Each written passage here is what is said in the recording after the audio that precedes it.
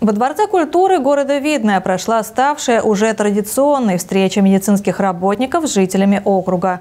Повестку подобных встреч, по сути, формируют сами граждане, направляя в различные инстанции вопросы и мнения относительно работы системы здравоохранения в Ленинском городском округе. Такие встречи проходят в 20-х числах каждого месяца. Посетить их может любой желающий без какой-либо предварительной записи.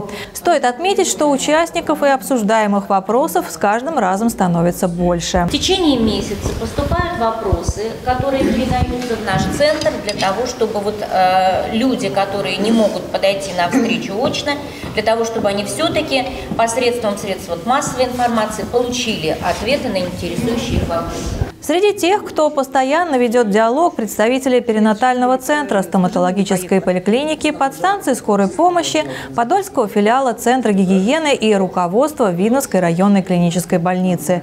Цель подобных встреч – оперативно реагировать на проблемы и сбои, которые могут возникать в работе медицинских учреждений. Хочу э, сказать о том, чтобы жители не копили эти вопросы, мы все доступны на любом уровне, в том числе и я, у меня дверь всегда открыта и готов ответить на любые вопросы. Точно так же это наши все руководители подразделений, это мои замы, э, ну, я в том числе, даже когда прихожу, ну, жители не надо соврать, я даже как бы где-то на обход поликлиники с большим удовольствием общаюсь с жителями и все текущие вопросы, на все вопросы отвечаем. Всего на встрече было озвучено более 40 вопросов, как присланных заранее, так и заданных из зала.